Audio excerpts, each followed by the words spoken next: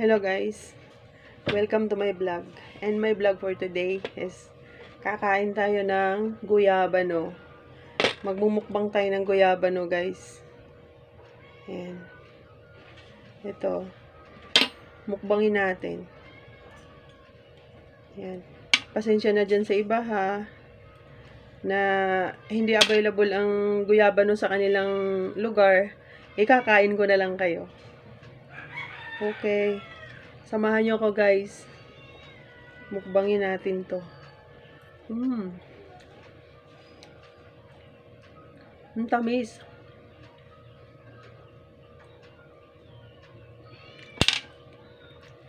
Mmm.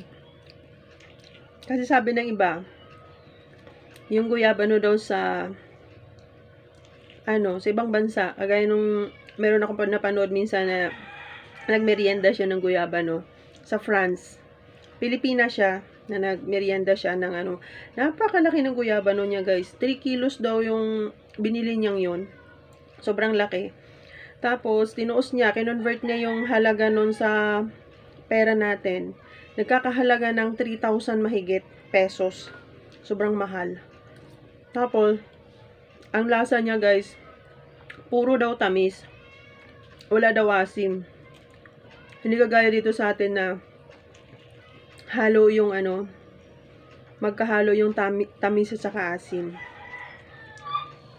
Kaya yun, parang tinikman lang niya yung ano niya, yung guyabano niya, sobrang laki. Mmm. Sarap.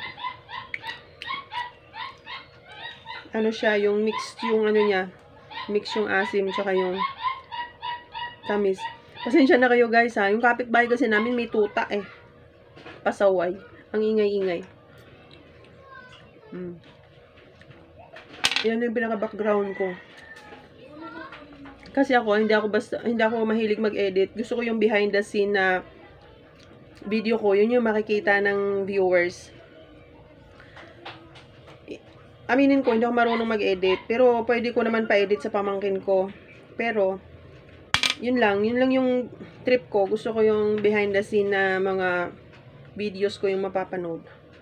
Hmm. 'Di ba? Inuunahan ko na yung mga ano, yung mga mamimintas, yung mga bashers. Inuunahan ko na na yung mga ano ko non-edited yung aking mostly non-edited. Maliban na lang minsan pagka yung nagsushoot ako, mas naputol yung isang video. No choice ako kundi pa-edit sa pamangkin ko. Ayan.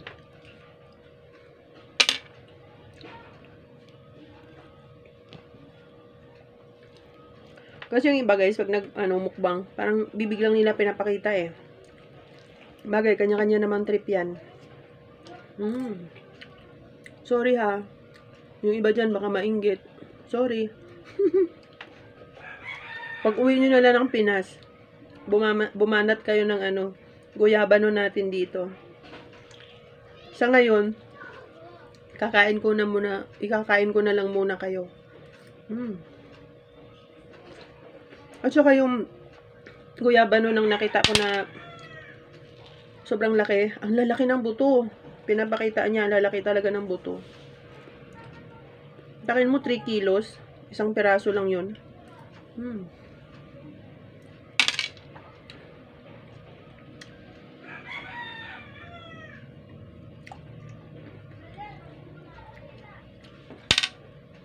Minsan may nakain akong guyabano na Sobrang tamis niya talaga. Mas overpower yung tamis niya kaysa asim. Ito naman, ano lang, 50-50. 50% yung tamis, 50% yung asim. Kaya sour soap. Joke. mm. Yan.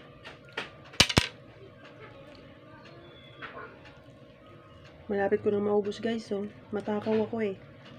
Mahilig ako sa guyaba, no. May maganda nga daw to sa katawan. Meron siyang anti-cancer properties.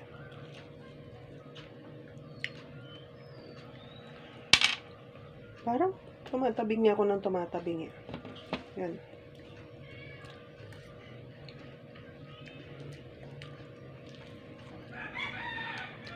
Mm.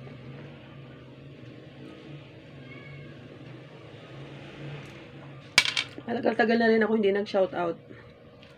Shoutout kay Mama.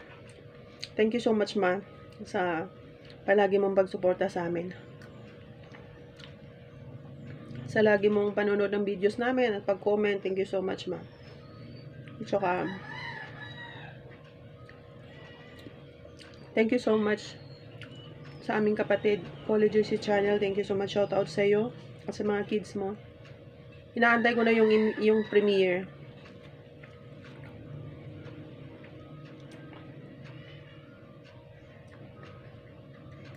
Hmm.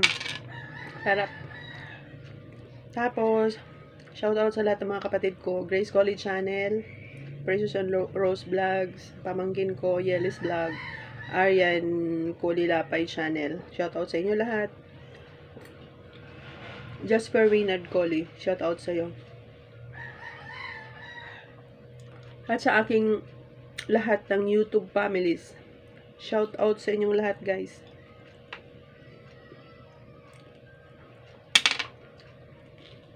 Ayan. Ito yung pinaka-breakfast ko, guys.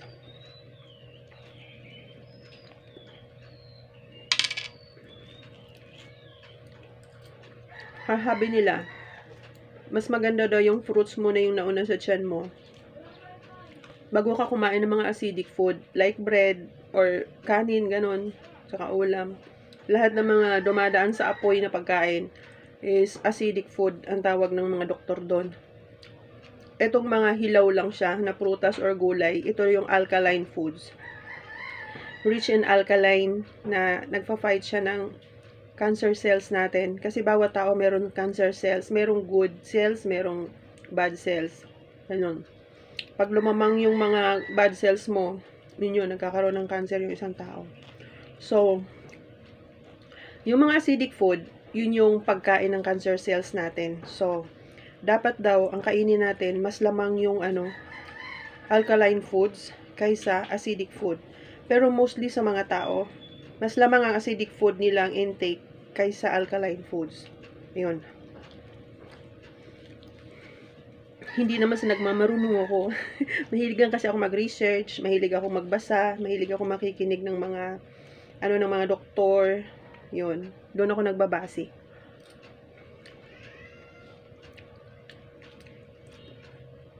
nabanggit ko na sa iba kong vlogs na since na marami akong mga bukol-bukol, hindi ako nagpapa-opera pa sa goiter ko. Ayan, malaki na yung goiter ko guys. Siguro mga 20 years na to sa akin. Ang advice sa akin ng endocrinologist ko, na kailangan ko na siya ipatanggal kasi sa pagkakaro sa pagka sa, sa ngayon hindi pa siya life threatening kasi ano siya eh um, non-toxic siya pero time will come na mag ano siya uh, mag-develop siya into tumor. So, pag nag-tumor na siya, meron na siyang tendency na magiging cancerous. Kaya ako, mahilig ako sa mga ano talaga, yung pangontra sa cancer. Kasi takot ako. Takot ako magkaroon ng cancer. Sa so, bukod dito, marami pa akong bukol-bukol. Kaya, huwag kayong magtaka kung bakit parang, ano ako, yung healthy, yung mahilig ako sa mga healthy na pagkain kasi inuunahan ko na yung ano eh. Kasi pag may mga bukol ka, prone ka talaga sa cancer. Kaya yun. Kumbaga, ginagawa ko ng ano, reverse psychology. Charot. Hmm.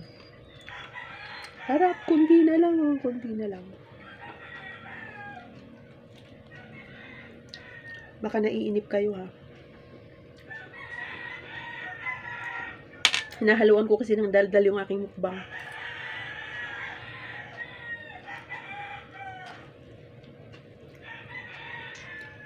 Sa aking YouTube families na laging sumusuporta sa aming bawat uploads sa aking comment section, huwag kayong mag-alala guys. Unti-unti ko kayong babayaran. Bibisitahin ko kayo sa inyo-inyong mga pamamahay. Ha? Alam nyo na yon uh, hindi ko na kayo isa-isahin. Kasi baka may, may meron ako hindi mabanggit at sasama loob. Kaya basta, kakatok na lang ako sa inyong bahay-bahay. One of these days. Maraming salamat sa inyong ano, suporta.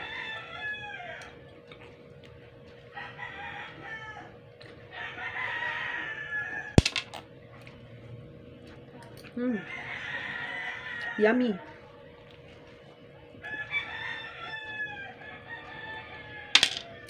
Hindi ko na siya masyadong manguya kasi ano eh, yung aking ngipin kasi hindi na kumpleto, yung aking bagang.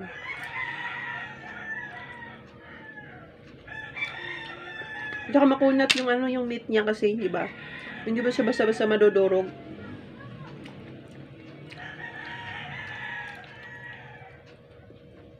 Pwede mo nga siyang gawing bubble gum eh. Joke.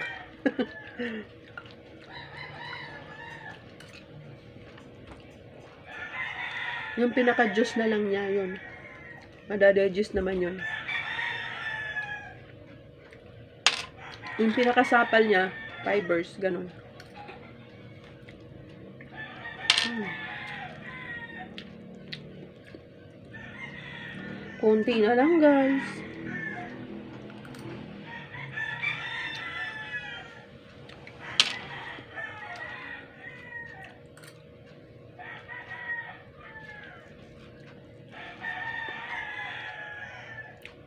First time kong mag ano ngayon, mukbang na mag-isa ako kasi twice yung mukbang ko. Kasama ko yung kapatid ko siyang pamangkin ko.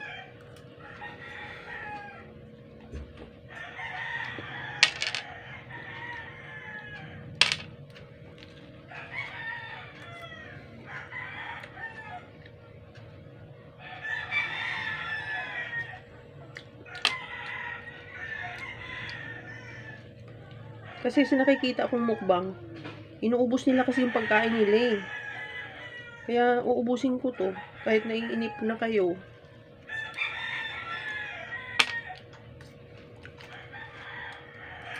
Hmm. Sa probinsya guys, sa Cebu, ang daming tanim ng mama namin nito. Namimitas lang kami sa bakuran. Minsan naman gusto namin maging hinog sa puno. Tapos nakalimutan namin pitasin. Pagdating ng gabi, magkakagulo yung mga paniki. Naranasan ko one time. Inagaw ko sa paniki kasi ang laki. Habang yung kagulo na sila, nag-aaway na sila dun sa puno, ay malapit lang, nasa ano lang ng bahay namin. Ay, nagdala ko ng flashlight guys. Kinuha ko, inagaw ko. Nakainan na nila ng konti. Hinayang ako kasi ang laki-laki eh. Eh, hindi ko muna pinita, sabi ng mama ko, pitasin na daw. Sabi ko, wag ma. Masarap yung hinog sa puno kasi matamis. Inunahan ng ano, paniki. Marami kasing paniki sa probinsya. Yung mga fruit bats.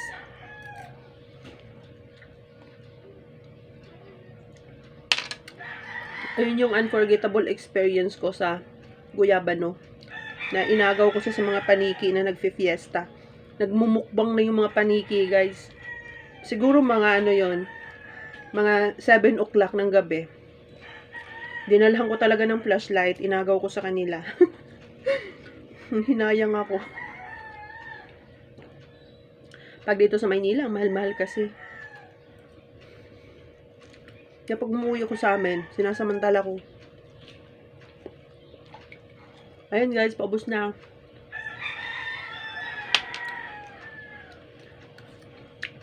Halos nilulunok ko na nga lang iba. eh. Hindi ko na nangunguya.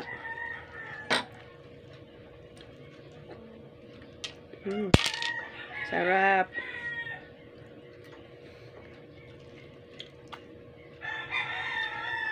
Ah, biglang umu big, big, biglang bumagsak tong inuupuan ko guys ay mawala ako sa cam joke mm.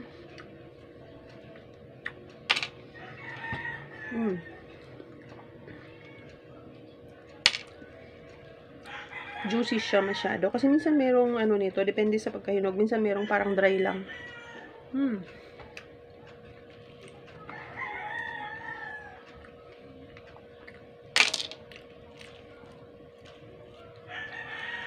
Yan. Almost done.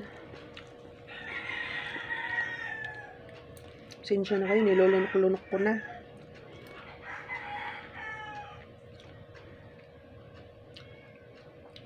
Hmm. Dami.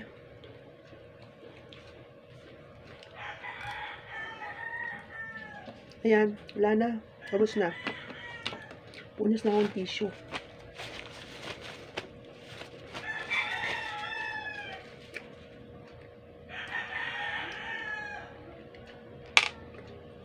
Okay guys, thank you so much for watching my mukbang.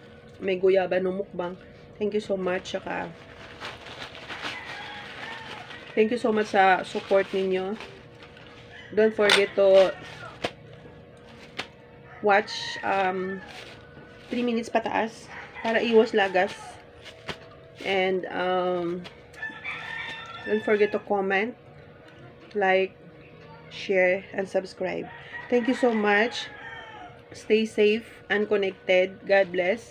Be nice to everyone. Bye-bye. Thank you.